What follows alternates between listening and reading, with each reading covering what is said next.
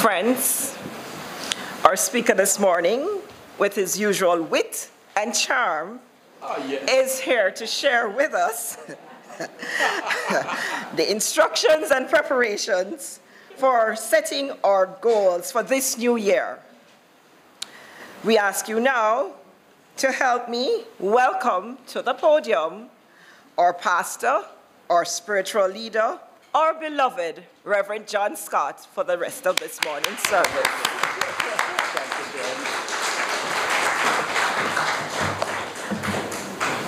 Happy New Year, family. Happy New You. Uh, and I have to say that one of my temple teens grown into lots of man, Kyle Stewart, is worshiping with us this morning, along with his Auntie Marguerite from Canada. Stella, make them see how you look good, boy. Captain of the Ryerson Rams, and he's available. Um, where are my teenage girls? For football coaching.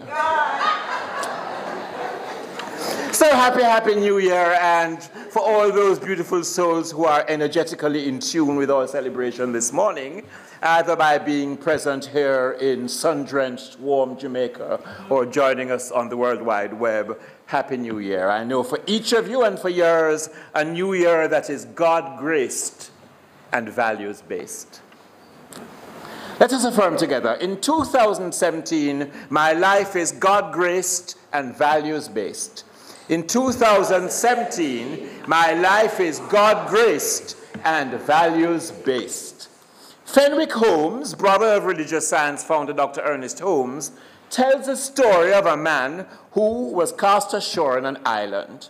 The storm had dashed him up unhurt across the breakers into a lagoon. Behind him was a high cliff which he was unable to climb. Quote, at first, I made desperate efforts to escape, he said, but finally reconciled myself to slow death by thirst and starvation. I believed that I was the only person on the island and that rescue was not only unlikely, but quite impossible.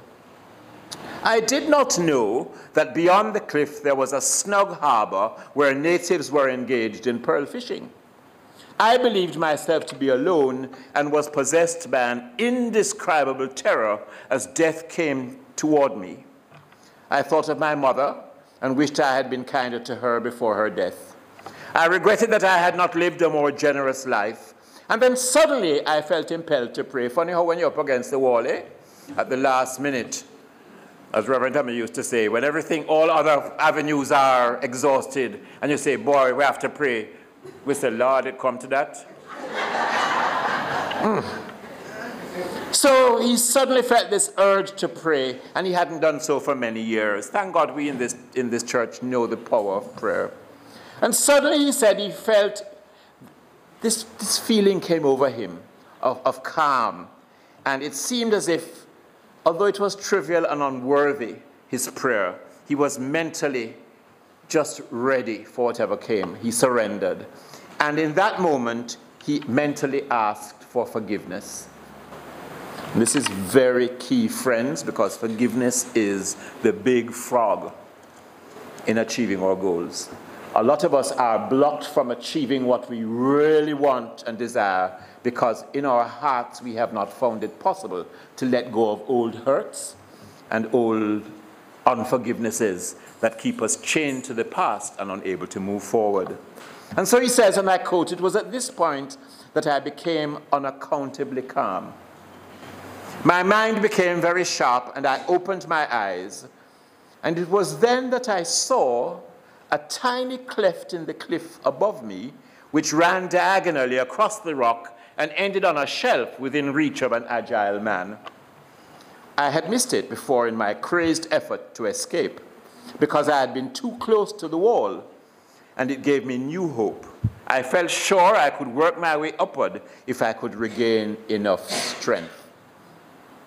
The shipwrecked man said that even in that tense moment, he felt that in some way this means of escape had been shown him because he had made a new man of himself through praying.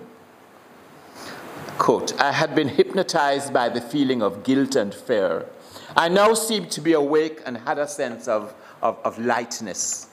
The relief was so great that I must say I laughed out loud. And had anybody seen or heard me at that moment, they would have thought the lightness came out of my head instead of out of my heart. Unquote. And you know, friends, I dare say that none of us have been shipwrecked, but many of us have indeed felt up against the wall sometimes in our lives, haven't we? And this you just can't, you just can't figure a way out. And when we're up against those cliffs and those challenges, sometimes we are moved to pray. Too often, though, we give in to the fear and despair, and it is only when we feel that we're facing certain death, in inverted commas, that we think to pick up the phone, ask one of our practitioners or ministers to pray with us. How easily we forget that we have inner resources which can be drawn upon by faith, hope, and prayer, ours and the prayers of others. And yet, when we do remember, friends, to draw on that inner presence, we find we can triumph over anything. It is in this state that the runner gets a second wind, and even the most timid person performs deeds of heroism. It is as though for a moment we awaken from the belief in our weakness into the realization that with God we are strong and that all things are possible. A famous runner once said, My muscles are rubber, so I run with my mind. Psychologists know that our adrenal glands play an important part in courageous effort. They stimulate all the organs of action. Adrenaline rushes through the blood and washes the dross of effort from the muscles and removes the friction of weariness, which impedes our agility. It is at these times that new strength returns and we feel as alive and rested as though we'd had a good sleep and that we can do anything. We are truly awesomely and fearsomely made. So when we think we can, we can. All things are possible to him who believeth. Isaiah 40, 31 tells us, and I quote, He giveth strength to the weary, and to them that have no might, he increaseth strength. Even the youth shall faint and be weary, and the young men shall utterly fall. But they that wait upon the Lord shall renew their strength. And wherever you see that word Lord in the Bible, you can, you can substitute the word law, because the law is the way the Lord works. So that they that wait upon the law, that rely upon that absolutely perfect law of mind shall renew their strength and shall mount up with wings like eagles. And so, if you believe you're a child of God and that God is life, then it follows that you possess the unlimited life of God.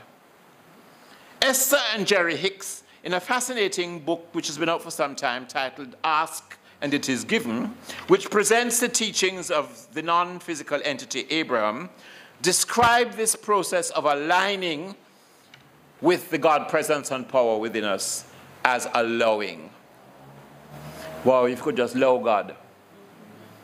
You know, just allow God. Let go and allow God now. Can we just say, I let go and allow God? I let go and allow God. And so this allowing deliberately focuses your attention upon things that cause you to offer a vibration that allows you to connect to that God source that is within you. And this means that when we feel off center or out of sorts, it is a wake up call to realign ourselves with what Esther and Jerry Hicks called source energy. That's, that's the source within you, that from which all the strength, all the energy, all the determination, all the power that is yours by divine right of being as a child of God, and that was given to you when you were created that energy is available to you. You just have to let go and love God. And so, friends, it is absolutely necessary to know this as you set your goals for this year. All the life there is is in you right now. You don't have to wait for anything. You don't have to ask for anything more than the knowing that all the life there is is yours. And so, in preparation for tomorrow's goal setting workshop, I want you to take a look back over 2016 and without judging yourself or others, take stock of who you were being and how you were living your life in the year just gone. And to help you, I've included a flyer in your program. Um, you, will see it says, I think it's called A Look Back at 2016. It's by um, Science of Mind uh, Religious Science Minister Dr. David Alt. Alt focuses on 11 habits which you might want to work at strengthening this year. They are loving, forgiving, stopping to listen within, taking leaps of faith, which he calls adventures, seeking wellness by honoring your body temple, playing, goal setting, learning, cleaning up relationships, sharing of yourself, your time, your talent, your treasure, and finally, praying before you find yourself up against the cliff. So let's take a look at them together. I'll read the lead question and then we can read the amplification together. Did I express love this year? Real love together? The kind of love that doesn't announce itself in flashy circumstance or structured conditions, but an authentic, quiet, internal love? The kind of love that bubbles to the surface when I gaze at another with understanding. A love that places me in their shoes, granting freedom from judgment and deepening my compassion a philanthropic love that expresses because it simply feels compelled to, because it knows there is more than enough and everyone can benefit. If not, then I resolve to be and do better in my authentic loving. Here's a big frog. Did I forgive this year? Really forgive. Together the kind of forgiveness that cracks open my heart, peeling away one more layer of righteous indignation, thus allowing my soul to breathe. The kind of forgiveness that loosens my clenched fists, held high at a situation so that I don't enter into the next one with guarded mistrust the kind of forgiveness that comprehends there is a difference between understanding a behavioral choice and condoning it. If not, then I resolve to be and do better in my forgiving. Did I stop this year? Really stop.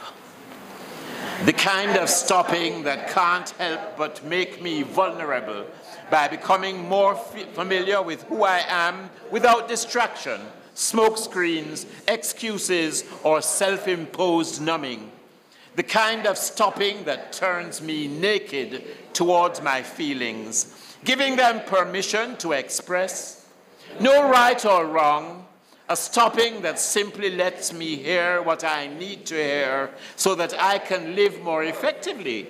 If not, then I resolve to be and do better in allowing myself to stop.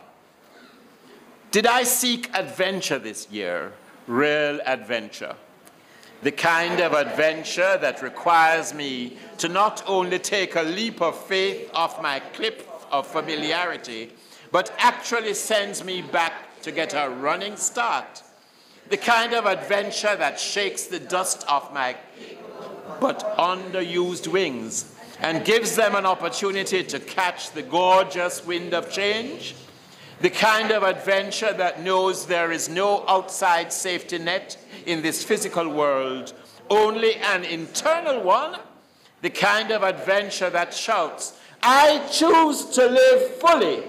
If not, then I resolve to be and do better in seeking adventure. Did I seek wellness this year? real wellness. The kind of wellness that requires me to be fully conscious of what I put into my body. The kind of wellness that requires me to practice what I preach when it comes to self love, while understanding that the power to dissolve poor habits starts by simply choosing to change. Wellness that says, This is the only body you've got. Treat me with respect. Praise me daily and honor me as the holy temple that I am. If not, then I resolve to be and do better in allowing my wellness in my life. Did I play this year? really play. The kind of play that gives value to the heavenly activity of fun, knowing that fun is sacred, that play is the equivalent of work, and that during play, renewal and relaxation usher in the newest ideas and the clearest choices for better manifestations? Did I view play as a necessary life function and not a debatable luxury? If not, then I resolve to be and do better in my relationship to playing. As we say in Jamaica, I, I resolve to romp more. Did I set a goal and see it to completion this year? Really complete it? The kind of completion that lets the vibration of satisfaction and confidence in my abilities heal any opposing ideas of not being good enough. Did I honor my life and its sacred purpose by utilizing my time with forward thinking and letting my mistakes be motivations, not antagonists? Did I dissolve my insecurities and procrastination by understanding that my untapped genius has but one mode of expression, and that is through idea, thought, word, and action? If not, then I resolve to be and do better in setting and completing my goals. Did I open myself up to learn this year? Really learn the kind of learning that entices me to enroll in being student of life.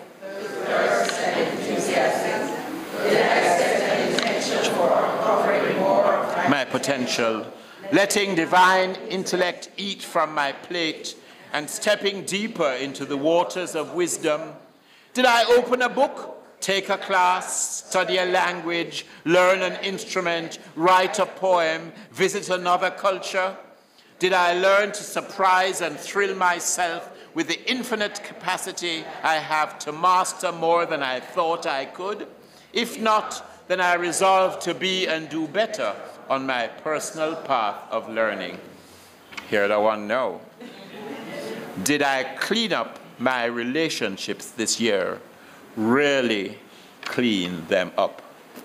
The kind of cleaning that requires me to break open the lock pull back the curtain, throw open the window, and start removing the dust of harsh words, grudges, false accusations, and misguided choices that have layered my heart? Did I make amends for the fearful ways that disheartened another, for neglecting to honor their point of view? With careful examination, did I communicate my truth, understanding that sometimes all we may be able to do is agree to disagree, and to do so without judgment or malice. If not, then I resolve to be and do better on cleaning up my relationships. Did I share my good this year? Really share. The kind of sharing that comes from the pure joy, another, not from what I think they can or will do for me in return did I tithe back to where I was spiritually fed, transformed, and inspired? Did I practice random acts of kindness and give my time, talent, and treasure, realizing that my good is a part of a never ending wellspring that cannot run dry, whose source is and always will be the infinite wellspring of the divine? Did I commit to walking the altruistic path? Remembering that every step brings healing and enlightenment to the world? If not, then I resolve to be and do better in my sharing. Did I pray this year? Really pray. The kind of prayer that is spoken not to God, but as God. Prayers that affirm rather than beseech are pregnant with knowing rather than bloated with doubt? Did I make my everyday activities a prayer, realizing that every thought I think carries with it the responsibility of an effect on the world? Did I remember how truly powerful my own prayer actually is, and that by simply devoting myself to the practice of it, I become the change? Did I remember that my prayer takes what I seek and introduces it to me, the seeker? If not, then I resolve to be and do better with prayer. And then, my friends, Alt ends by asking, Did I do all these things because deep down inside I fully understand how precious I am? And that each of these sacred practices reminds me how I am held in the light as a perfect idea? Did I remember that I have been perfectly conceived and am always held in the perfect mind of God as perfect being? Did I know that here is nothing that I, there is nothing that I can ever say, nothing I can ever do that will separate me from the love of God? If for any reason I forgot, let's say this together. If for any reason I forgot my divinity this year, then I resolve to be and do better in my knowing of it, to fully understand and embody the truth that it is done unto me as I believe. And I believe in the power of good for me, for you, for all. Say to your neighbor, I believe in the power of good for me, for you, for all. I believe in the power of good for me, for you, and for all.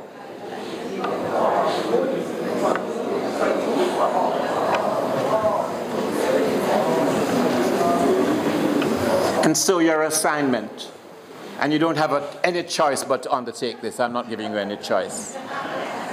Your assignment is to go over this checklist again this evening and rate yourself on a scale of 1 to 10, 1 being low and 10 being high. And for those areas where you can see that there is a need for improvement, make a list of habits, beliefs, and thoughts that hinder your progress or that are not in alignment with your values. I want you to head that list, no longer welcome. Top of the page, no longer welcome. And write down anything that is hindering your progress, your awakening to your spiritual magnificence. No, write down nobody's name. It is not about somebody else, it is about you you and your spiritual growth, you and your unfoldment, you and your awakening to all that God intended you to be, and doing it in this new year of your life. Let us affirm in, in 2017, my life is God graced and values based. In 2017, my life is God graced and values based. And so, my friends, when you face some challenging task, say this My life is God graced and values based, so that all of your actions are in alignment with the values that you embrace as a son or daughter of the living Spirit Almighty. And this list from David Alt is a pretty comprehensive list. There are others that you might want to add, but work with this list and make your, your list of, what, what am I calling it? No longer wanted, and bring it tomorrow evening because we're going to take it from you and burn it. No longer welcome. I began with a story by Fenwick Holmes, and so I would like to conclude with one of his poems. It is titled, Life is All. Life weaves the petal of the rose whose heart is opened as it grows, and from it scented sweetness flows. Yet we must breathe and be aware of perfume hovering in the air, or else for us it is not there. Awake, my soul, from thoughts of strife, from fears as cutting as a knife.